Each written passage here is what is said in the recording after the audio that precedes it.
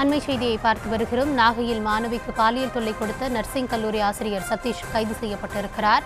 அதனை அண்மை செய்தியாக பார்த்து கொண்டிருக்கிறோம். நாகையில் மாணவிக்கு பாலியல் தொல்லை கொடுத்த நர்சிங் கல்லூரி ஆசிரியர் கைது செய்யப்பட்டிருக்கிறார். அது குறித்தான தகவல் வெளியாக இருக்கிறது. நர்சிங் கல்லூரியில் பயிலும் மாணவிக்கு அங்கு பணியாற்றக்கூடிய ஆசிரியர் சதீஷ் பாலியல் தொந்தரவு கொடுத்ததாக அண்மையில் ஆடியோவானது வெளியாகியிருந்தது. இந்த நிலையில் அதன் மீது மேற்கொள்ளப்பட்ட நடவடிக்கையில் அந்த ஆசிரியர் சதீஷ் கைது செய்யப்பட்டிருக்கிறார். கூடுதல் விவரங்களோடு இணைந்திருக்கிறார் செய்தியாளர் லெனின். லெனின் தற்பொழுது அந்த ஆசிரியர் கைது செய்யப்பட்டிருப்பதாக அண்மை தகவல் வெளியாக இருக்கிறது. கூடுதல் விவரங்கள். கௌதமி நாகப்பட்டினத்தை அடுத்த புத்தூர் தொகுதியில் பாஜக நாகை மாவட்ட தலைவர் கார்த்திகேயனுக்கு சொந்தமான தனியார் கல்லூரி செயல்பட்டு வருகிறது. பாஜக மாவட்ட தலைவரின் மனைவி திருமலர் ராணி செயலாக உள்ள கார்த்திகேயன் நர்சிங் கல்லூரியில் நூற்றுக்கும் மேற்பட்ட மாணவிகள் பயின்று வருகின்றனர். அக்கல்லூரியில் உடற்குறியியல் ஆசிரியராக பணிபுரியும் நாகை வெளிப்பாலம் பகுதியைச் சேர்ந்த சதீஷ் என்பவர் மாணவிகளிடம் அடிக்கடி பாலியல் தொந்தரவுகளில் ஈடுபட்டதாக சொல்லப்பட்டுள்ளது. இந்த நிலையில் அக்கல்லூரியில் பயிலும் நர்சிங் மாணவி ஒருவரிடம் ஆசிரியர் தனது காம இச்சைக்கு அடிபடுமாறு செல்போன் உரையாடல் வெளியானது.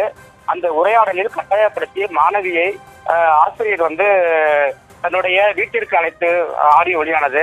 அந்த மாணவி வந்து தனக்கு மாதவிடாய் நோய் இருக்கிறது என்று சொல்லியும் அந்த ஆசிரியர் வந்து நான் பார்த்துக் கொள்கிறேன் கட்டாயம் நீ வா அப்படின்னு சொல்லி அப்படின்னு சொல்லி அழைத்த வீடியோ வந்து பரபரப்பை ஏற்படுத்தியது.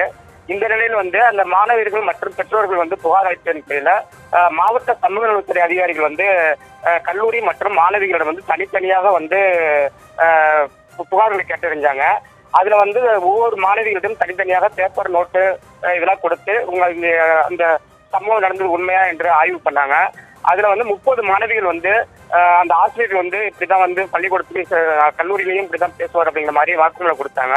இந்த அடிப்படையில் வந்து பல கல்லூரி நிர்வாகம் வந்து தங்க ஏற்கனவே வந்து அந்த ஆசிரியரை வந்து பணியிட நீக்கம் செய்தது. இந்த நிலையில வந்து ப- அதிகாரிகள் பேசிய விசாரணையில வந்து அந்த ஆசிரியர் வந்து பேசியது உறுதி செய்யப்பட்டது. இந்த நிலையில வந்து இது நாகை நகர காவல் நிலைய போலீசார் வந்து இப்ப இந்த ஆசிரியர் சதீஷை வந்து கைது செய்து வந்து இப்போ வந்து நீதிமன்ற காவலுக்கு எடுத்து செல்றாங்க Three, two, one, ready. Breaking fire. Lights on. Camera ready. On and. தமிழ்ச் செய்திகளின் புதிய அடையாளம் காலை பொழுதின் புதிய அங்கம் செய்தி வழங்குவதில் உலகத் தரம். இணைந்திருங்கள். காலை ஆறு மணியிலிருந்து உங்கள் நியூஸ் தமிழோடு.